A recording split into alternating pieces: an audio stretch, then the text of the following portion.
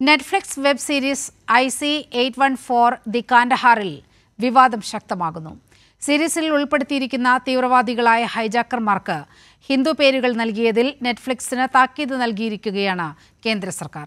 തീവ്രവാദികൾ മുസ്ലിം നാമധാരികളാണെന്നും ഇന്ത്യൻ സംസ്കാരത്തിന് ചേരാത്ത ഉള്ളടക്കം ഒഴിവാക്കണമെന്നും ആവശ്യപ്പെട്ട് സംഘപരിവാർ ഹർഡലുകളിൽ വ്യാപക പ്രതിഷേധം ഉയർന്നതിന് പിന്നാലെയാണ് കേന്ദ്ര സർക്കാർ നെറ്റ്ഫ്ലിക്സ് മേധാവിയോട് വിശദീകരണം ആവശ്യപ്പെട്ടത്.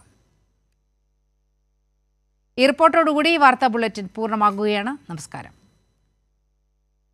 ഓഗസ്റ്റ് ഇരുപത്തിയൊൻപത് നെറ്റ്ഫ്ലിക്സിൽ സ്ട്രീം ചെയ്ത I C eight fourteen the Kandahar hijack എന്ന വെബ് സീരീസിൽ വിവാദങ്ങൾ ശക്തമായതിനു പിന്നാലെയാണ് നെറ്റ്ഫ്ലിക്സിന് താക്കീതുമായി കേന്ദ്രം രംഗത്തെത്തിയത്.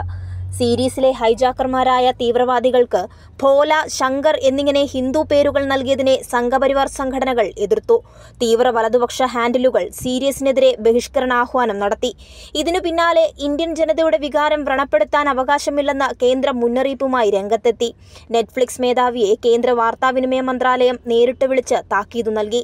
അതേസമയം ആയിരത്തി തൊള്ളായിരത്തി തൊണ്ണൂറ്റിയൊൻപതിലെ യഥാർത്ഥ സംഭവത്തെ ആസ്പദമാക്കി തയ്യാറാക്കിയ സീരീസ് യഥാർത്ഥ അനുഭവങ്ങളെയാണ് അവതരിപ്പിച്ചതെന്നും തീവ്രവാദികളെ ഈ പേരിട്ടാണ് വിളിച്ചിരുന്നതെന്നും അന്ന് വിമാനത്തിലുണ്ടായിരുന്ന ദമ്പതികൾ വെളിപ്പെടുത്തിയിട്ടുണ്ട്. എന്നാൽ തീവ്രവാദികൾ മുസ്ലിം നാമധാരികൾ ആകണമെന്ന സംഘപരിവാർ അജണ്ടയാണ് കേന്ദ്രം നടപ്പിലാക്കുന്നതെന്ന ആക്ഷേപവും ശക്തമാണ്. കൈരളി ന്യൂസ് ദില്ലി.